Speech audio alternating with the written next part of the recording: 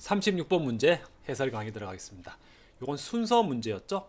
첫 번째 문장. Regarding for food production under the British government, there was a different conception of responsibility from that of French government. 해석 들어갑니다.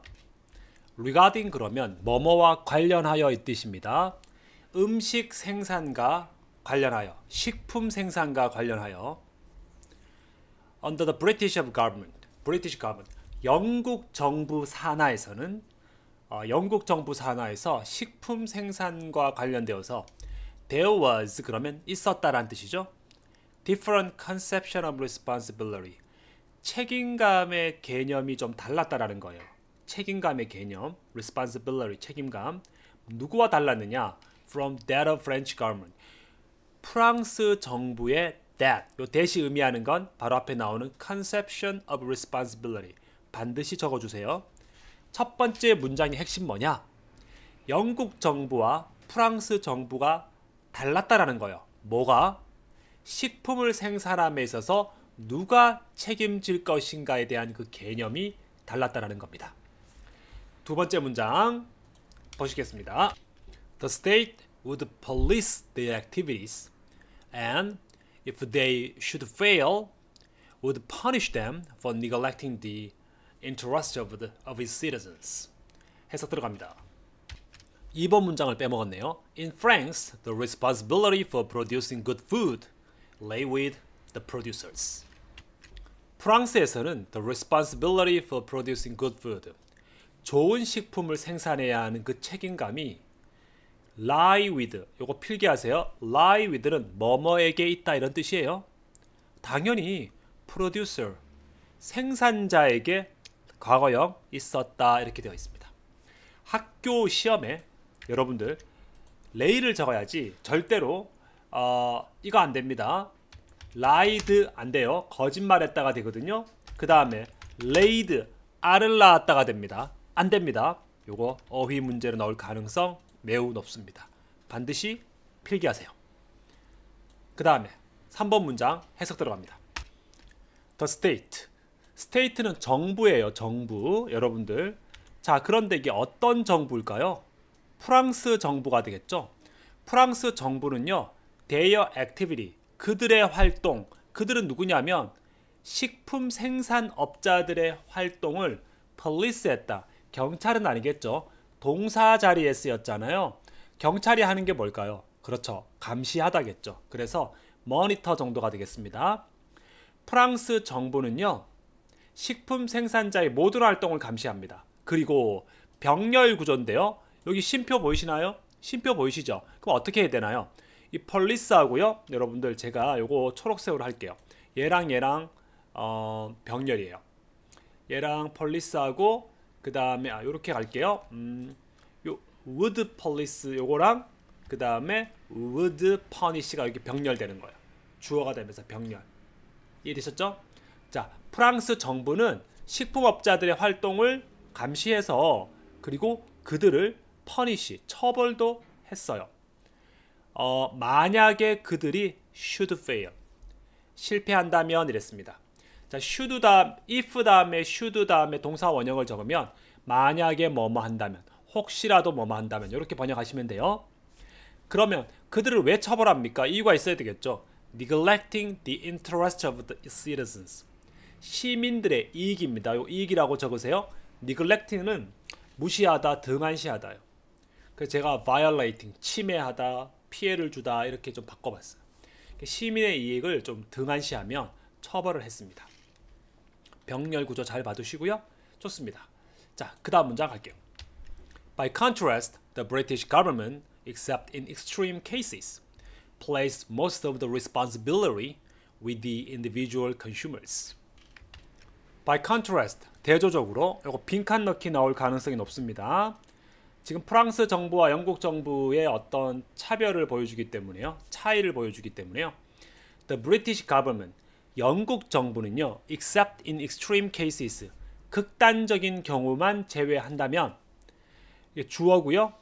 영국 정부가 주어고 placed가 동사입니다. 표시하시고요. most of the responsibility, 대부분의 책임감을 place A with B 그러면 A를 B에게 두었다 이런 뜻이에요. 개별 소비자에게 두었습니다. 아니 생산자가 잘못 만들어도 소비자가 너희들이 그렇게 사 먹은 건 너희 잘못이야. 이따위 정책을 펼친 거죠. 말도 안 되네요. 여기서 제일 중요한 것은 by contrast가 빈칸 넣기로도 나올 수 있다라는 거예요. 자, 그다음 문장 보시겠습니다. It would be unfair to interfere with the shopkeeper's right to make money. 자, 영국 정부는 어떻게 생각했냐면요. It would be unfair. 어, 부당하다, 공정하지 못하다라고 했어요. 당연히 가주어, 진주어 구문입니다. interfere with는 침해하다, 방해하다야. shopkeeper는 가게 주인입니다. 가게 주인이 누굴까요? 식품 생산업자겠죠? 가게 주인의 권리를 침해하는 것은 부당하다라고 생각한 거예요. 자, to make money, 돈을 벌기 위한, 돈을 벌 수 있는 이 권리를 침해하는 것은 부당하다라고 생각한 거죠. 식품 생산업자에게 상당히 많은 권리와 자유를 준 거죠. 가주어, 진주어 구문이고요. 뭐뭐를 침해하다, interfere with, unfair. 잘 공부하시면 되겠습니다. 자, 그 다음 문장 가 볼게요. In the 1840s, a patent was granted for a machine designed for making fake coffee beans out of chicory using the same technology that went into manufacturing bleach. 1840년대에 in the 1840s a patent was granted. 특허가 승인이 되었대요. 우리 grant 그러면 승인하다 이런 뜻입니다.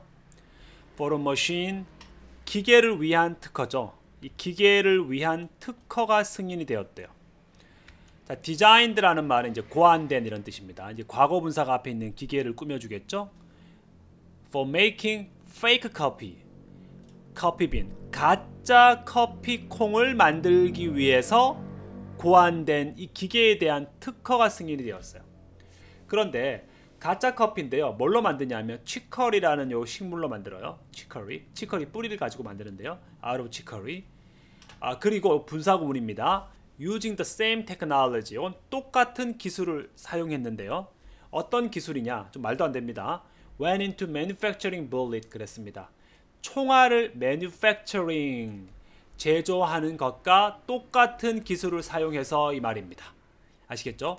자, 그래서 이 문장 보면 1840년대에 특허가 승인되었다. 이거 수동태 잘 봐두시고요.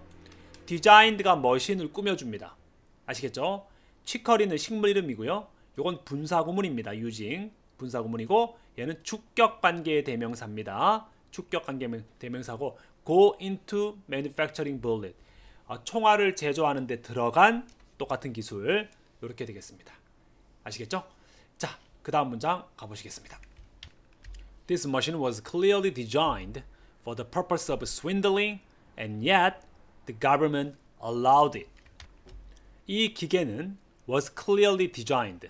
분명히 고안이 된 거예요. For the purpose of 그러면 뭐뭐를 목적으로 이런 뜻입니다. 필기하시고요. swindling 그러면 사기를 친다 이런 뜻이에요. 사기를 목적으로 사기라는 말을 committing fraud라고 할 수 있어요. F-R-A-U-D 단어 외우세요. 사기입니다. And yet 그럼에도 불구하고 the government allowed it. 정부는 그것을 허락해 준 거죠. 특허를 준 거죠. This machine. 이시 가리키는 건 this machine이 되겠습니다. 자, 그 다음 문장 보실까요? A machine uh, for forging money would never have been licensed. So why this?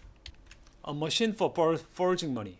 forge는 위조하다거든요. 돈을 위조하는 기계라면 would never have been licensed. 절대로 허가를 받지 못했을 것인데 왜 이렇게 했을까라고 했습니다.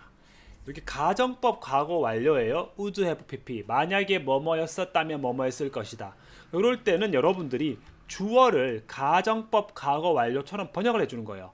돈을 위조하기 위한 그런 기계였다면, 즉 사기를 칠 목적의 기계였다면 절대로 허가를 받지 못했을 것이다. 우리 라이센스가 면허도 되지만 허가해 주다거든요. 공식적으로. 운전면허도 정부가 허가를 해준 거잖아요. 운전하도록. 그래서 동사로 쓰면 허가하다인데 좀 수동태로 쓰였죠. 허가를 받지 못했을 것이다. 그래서 왜 그렇다면 이렇게 했을까? 왜 허가를 해줬을까? 이런 말도 안 되는 기계 커피 가짜 콩 커피콩 만드는 기계를 허가를 해줬을까? 자, 그 다음 문장에 답이 나와 있습니다. As one consumer complained, the British system of government was weighed against the consumer in favor of the swindler. 자, as one consumer complained. 어떤 그 고객이 이제 불평을 한 거예요. 예, 불평을 한 것처럼 the British system of government. 영국의 정부 이 시스템은요 was weighted. 우리 weighted가 이제 무게잖아요. 그래서 어, 무게가 있었다라는 건 좀 치우쳐져 있었다는 뜻이거든요. 근데 against라는 거는 뭐뭐에 반대하게. 그러니까 소비자를 위해서 이게 치우쳐져 있는 게 아니라 소비자에게 불리한 쪽으로 치우쳐져 있고 생산자에게 유리한 쪽으로. 여기 in favor of가 뜻이 뭐냐면 뭐뭐에게 유리한 뭐 the swindler 그 이, 이 사기꾼에게 유리한 쪽으로 치우쳐져 있었다라고 했습니다. 그 전반적인 내용은 뭐 그렇게 어렵지는 않습니다, 여러분들. 어렵지는 않고 영국 정부가 어, 소비자보다는 생산자의 편을 많이 들었다 이런 내용이 되겠고요. 중간에 보시면은 여기 by contrast 여기서 대조적으로 이런 표현들 빈칸 넣기로 좀 잘 봐두시기 바라겠습니다. 주제 한번 알아볼까요? 자, 식품 생산과 관련해서 책임의 개념 차이가 있다는 거죠. 프랑스는 소비자 중심, 영국은 생산자 중심이 되겠습니다. 여러분들 수고하셨습니다.